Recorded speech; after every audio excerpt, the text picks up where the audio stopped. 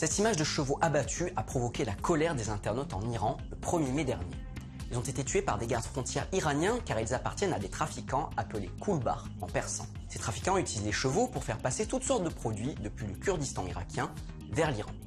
Les Kulbars sont donc traqués par les autorités et selon notre observateur qui a vécu au Kurdistan iranien, les gardes frontières se croient tout permis pour les arrêter. Attention, certaines images que vous allez voir peuvent heurter les personnes les plus sensibles. Il tue ses chevaux pour faire peur aux gens dans la région et pour se venger des trafiquants qui leur échappent. On pense même que certaines des vidéos et des photos qui ont circulé ont été publiées par des gardes frontières pour faire peur. Les gardes frontières et les gardiens de la Révolution qui patrouillent croient qu'ils ont carte blanche. La loi ne dit pas clairement ce qu'ils ont le droit de faire ou de ne pas faire. Et personne ne les attaque jamais en justice. Parfois aussi, les chevaux ne sont pas tués, mais revendus au marché. Et ce sont les coulbars qui les rachètent. Parfois, les autorités iraniennes n'hésitent pas à tuer aussi les trafiquants, comme ce fut le cas en mars dernier.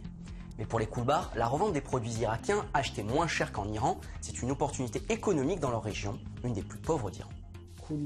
Les gens trafiquent de tout, du tabac et de l'alcool notamment.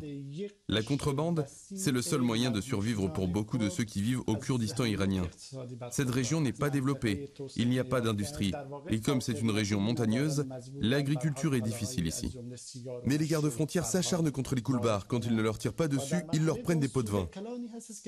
Les habitants de la région ont le droit d'aller acheter certains produits en Irak, mais depuis trois mois, les points de passage légaux de la frontière sont fermés pour des raisons de sécurité.